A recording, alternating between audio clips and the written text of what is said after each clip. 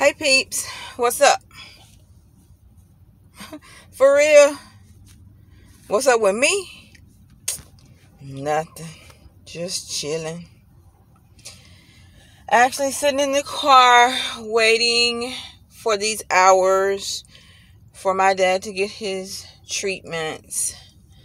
So, being that I'm just sitting here, I was thinking, had some stuff on my mind, so I was like, why not discuss it? I haven't had a good talk in a while. Been focusing mostly on cooking, of course, as you can probably see. But got a lot of things going on, a lot of things coming up, a lot of changes that you will see eventually.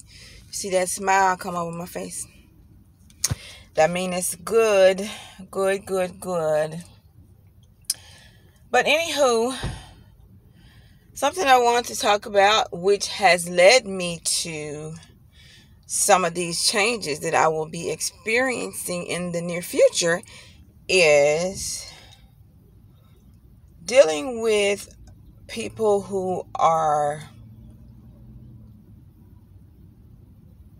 trying to keep it nice because that's what my reputation is. People who are severely damaged. Now, I'm not going to get into it in detail because it would take me a year to upload the full video. But just in a nutshell, tell me what you think. I already know, but I'm just going to get your opinion because people are just so. There's no easy way to say it. Crazy as hell. Period. Period. And then I love when people do something and then they try to act like it's you. How is it you when there's 10 people involved in a situation and all 10 of them are saying the same thing about you? But all the other people have a happy kumbaya. So please accept responsibility. Anyway, let's talk about it. So I have this quote unquote supervisor. Baby, when I tell you something is wrong with her, baby, I want to say she need Jesus. I really do. But she definitely would not approve of that. So, as you guys know, I'm a foodie. I love everything food. I eat, sleep, and breathe food. Everybody who knows me knows that, right? It's always about cooking what you got to eat. Can I taste it? What's the new recipe you try? Give me this recipe. You know, always something food related. So since I'm semi-retired, we'll talk about that in another video. But I claim to be semi-retired, right? At this point, it's up to me how I want to navigate through the rest of the years of my life. So I have chosen to be semi-retired, which means, you know, I dabble in in gigs. I'm not even proclaiming um, jobs, not after 30 years of career. So, just gigs, right? I might want to do six months on, six months off, three months on, three months off, three months on, three months off. It's totally up to me. The possibilities are endless. I have control. So, because I'm a foodie, I was looking for something that I could use my food skills and feel comfortable and like what I'm doing. You know, for once, you want to just do something that you enjoy doing. So you have some options and you have some choices. Well, anyway, that's what I did. I, I chose a gig that I would be cooking, displaying to people, answering their questions, telling them how I did it, letting them watch me cook, uh, letting them buy certain items because they want to take them home and try it themselves. They love it, right? So you guys know I go by Co. So with so many different people getting to know me over the months that I've been doing this gig, I have really grown a I don't want to say fan base, but I have grown a, a, a, group of people who look for me when they come and they ask for me when they come and they want my advice or my opinion or what should I do with this chicken? What should I do with this fish? So, all good, right? So they start joking and saying stuff like they call me Chef Co, which, you know, in my opinion, I am something like a chef. So they say, Chef Co, what's up today? What you cooking? What you got? I know it's gonna be good. And the purpose of the job is to get the people that you are interacting with to purchase as much as of the items as possible, right? Sales, marketing, um, you know, that goes hand in hand. So I come in and immediately I'm thriving because it's food. And you can tell that it kind of irritates the person because they want me to ask more questions. They want me to be more lost. They want me to be more dependent. But I'm not. Like, just show me where everything is and I got it. I thought that was uh admirable, you know, or I thought that's what people would want in a, in an employee. But anyway, I could tell it was kind of bothering the person. So she's a miserable fart. And I'm a sunflower. So when we walk in the building, sometimes together, everybody's like, "Good morning, Cole. What's up, Cole? How you doing?" I'm like, "Good morning. How y'all doing? And what you cooking today?" "Oh, you know, I got steak. It's gonna be on and popping. Oh, we can't wait. This whole building gonna smell good." Blah blah blah blah. So she's walking with me. Nobody speaks to her. She doesn't even try to engage because they don't speak to her because of how she's presented presented herself thus far. But she gets angry and then she'll say comments to other people such as I, I make up I make too much noise or I keep up too much ruckus or somebody's always hollering at me and you know we laughing and talking and it's just too much. You know trying to um question my professionalism. Baby one thing I can tell you for sure is Co is professional. She may be personable and she may laugh and she may talk, but a professional I am. So her trying to go there is just another crock of bull. Anyway, she gets bothered by it. But everybody droves around me and we chew the fat and what's up and what's down and what's around and you know, I mean, that's just who I am. If you want to be a miserable introverted confused. okay, stop right there. Cool. Anyway, if you want to be a sourpuss, then you be a sourpuss. But I'm going to be who I am. And if that bothers you, then either A, get on board. and maybe if you just smiled a little bit and wasn't so all frowned up all the time, maybe people would engage with you and interact. But anyway, she hated that. She gets mad, she gets mad, she gets mad. But it's been going back and forth for a long time. So I'm the kind of person, she's a bully. One thing a bully does not like is a person that can't be bullied. She bullies a lot of people that are there, but she can't bully me. So it bothers her. So when you can't do that, then you got to turn to petty ways to get at the person, like putting them on a schedule, then taking them off, almost when they walk in the door. And um you know because everybody loves the fact that the person cooks and wants what they want and want to come taste and be around them you don't give them cooking projects anymore.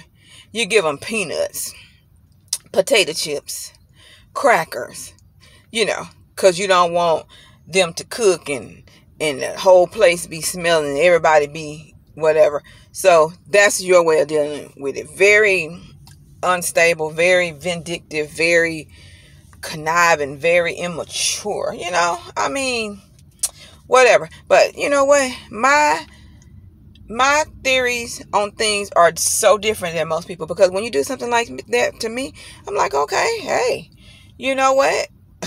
if I want to get my love for cooking out, I cook at home. It's all good over here. If you want to give me peanuts, guess what? I'll sell the peanuts. If you want to give me crackers, guess what? I'm going to sell the crackers. So that didn't work. It backfired because even though she gave me things that she think nobody was going to be interested in, nobody was going to talk about, everybody wanted to know about the peanuts or they wanted to talk to me about the peanuts or the chips or the whatever. So what she didn't understand is it's not the product. It's the presentation and the person. So you can change the product all day, boo boo. But people still are going to engage with me. And guess what? They bought peanuts, they bought crackers, they bought whatever that I was engaging in with them. Still bought it. Because they do this little report where it tells what your sales were for the day.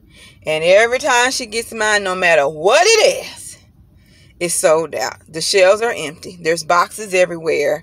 Yes, yes, yes. So when you are an evil person and you try to block someone who is blessed, better than blessed, thank you, Lord. You, it's not going to happen. Nothing you can do. But anyway, she's she's done things over and over and over and over and over and over and over and over.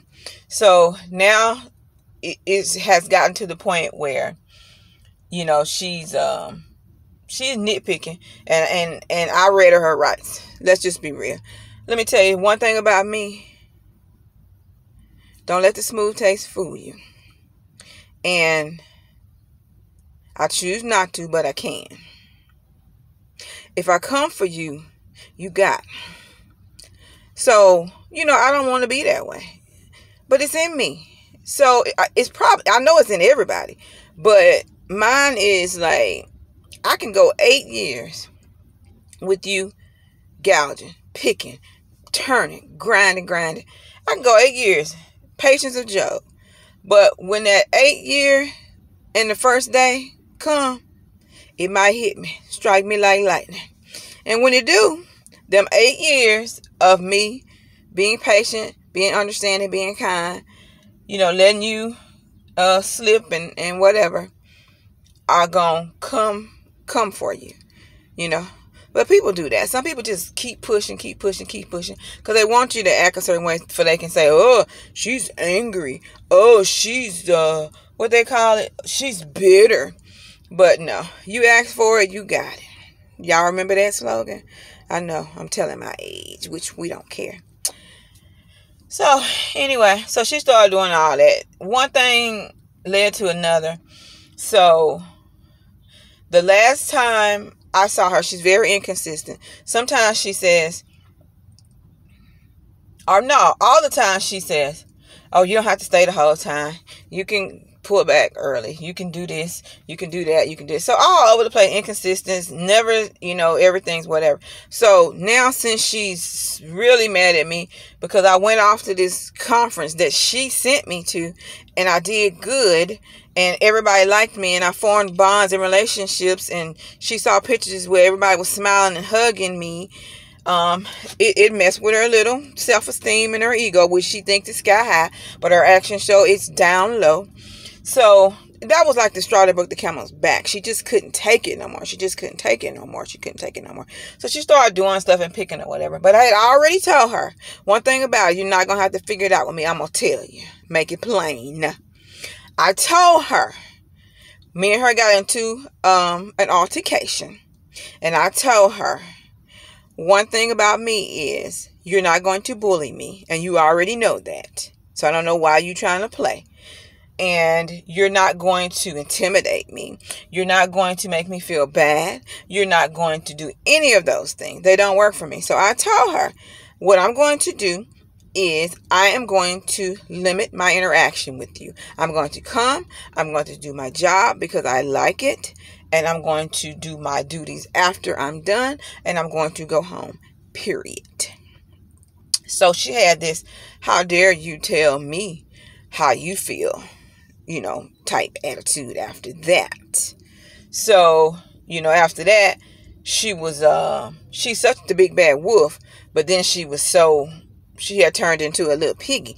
She wanted everybody to think she's so bad, but then once you get her or tell her, then she she she she she she she ducking and dodging and when you walk up to her and it becomes between you and her she moves to the side that's right and i ain't trying to be no bully and i ain't trying to be big and bad but i don't feel sorry for somebody who constantly does stuff. This woman has a certain uh certain people that she treats like a dog. Well no because she treats her dog better than she treats human.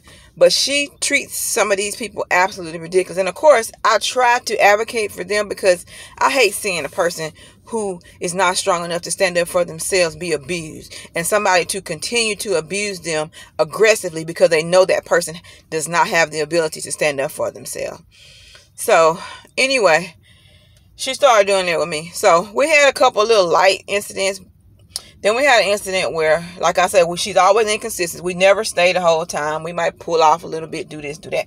So the very last time that I had a, um, a, a run in with her, I was beginning to, you know, process my stuff and get prepared to end my shift.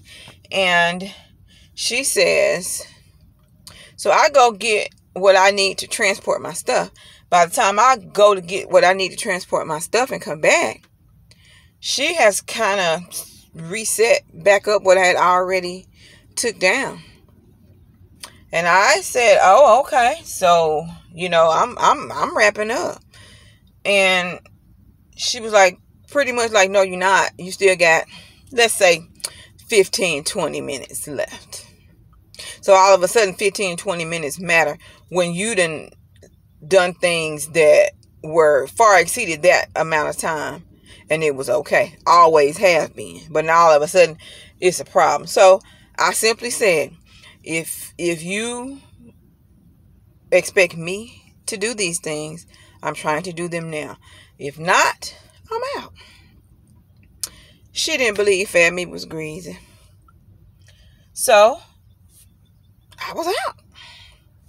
You know, you do it yourself. I'm playing game with you too long, and I'm really not a game player. I really am not. I'm playing with you long enough. So if you don't want me to do it while I'm trying to do it and you interject, then do it yourself. Simple, right? So I did that.